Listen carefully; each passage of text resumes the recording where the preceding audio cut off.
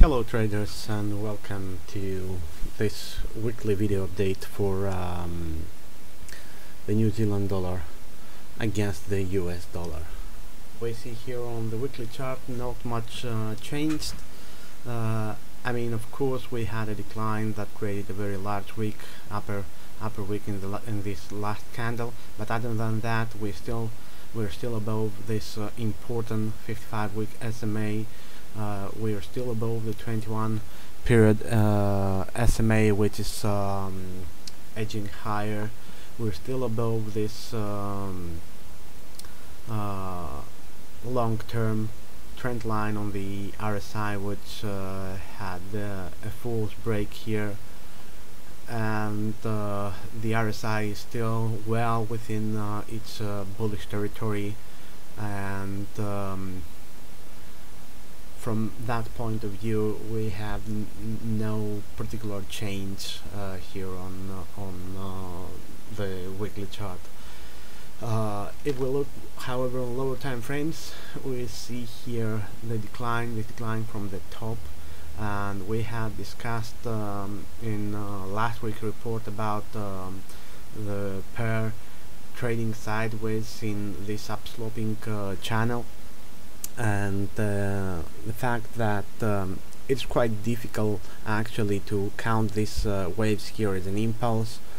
Uh, so we continue to continue to expect a reversal lower uh, for this um, price action to be a wave 4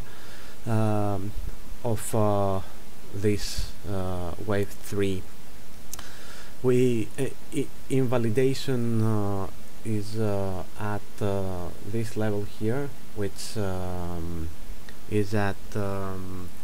73 uh, 16.8 and this one made uh, 72 uh, 72 which one made 72 uh, 978 which uh, keeps this scenario um, valid although um, a little unusual we very rarely see such um, uh, deep retracements of uh, wave 4 uh, so close to the high of wave 1 but in terms of um, Elliott wave analysis and the rules the, the count is still valid I will continue to consider it as uh, such and according to the developments uh, in the future I may have to alter it, change it, etc. But for now it remains valid. Uh, we see how the bounce was uh, limited by the 78.6% retracement of uh, wave 3 and the upper boundaries of uh, this upsloping channel. Uh, we also see how the reversal was uh, stopped at the 21 day SMA and from there we had a very a very sharp um, a very sharp uh, rebound too and um,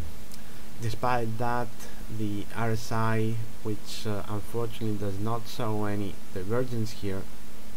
uh, at least closed below its 9 period SMA uh, and therefore that keeps uh, our scenario of uh, lower prices alive. Let's go on to the 4 hour chart and see what happened here um, and uh, possibly we can see it even uh, uh, better in the 1 hour chart. We see here how the perfect target for wave 5 which is the 61.8% expansion uh, from wave 4 of the distance traveled between the beginning of wave 1 until the end of wave 3 this distance expanding from this low 61.8% uh, of that distance is uh, the most common uh, target for wave 5 and this is actually when where the um, this wave 5 ended this blue wave 5 ended and with it uh, the wave 4 ended and we had a sharp decline for there. Uh, and although it is very uh, very sharp and we cannot count it very well I still believe that this is a five wave move decline and therefore this thing here is a correction but I don't know if it is completed or not. For now the rebound is limited by the 55 period with the 55 hour SMA and I expect a reversal lower from uh, here. The idea here is that uh, uh, this is a great opportunity for uh, the long-term trader. Uh, since uh, there is only about um, about uh, let me show you here on the screen. This is only about ah, I have to change my mouse I guess. These clicks are so about 140 pips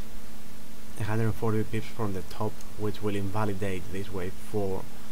uh, and uh, looking at uh, the weekly chart we can see that uh, the potential of uh, this decline from here up to here the current prices is uh, 1000 pips. So we have 1000 pips of profit against 130 of risk. That's an excellent risk reward ratio for a long-term trader but you should also take into consideration the rate differential between the New Zealand dollar and the United States dollar which will um, uh,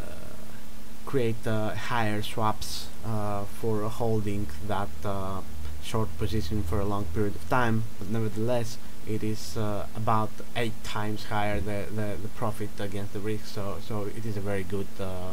opportunity that pretty much uh, concludes everything in my view about the New Zealand dollar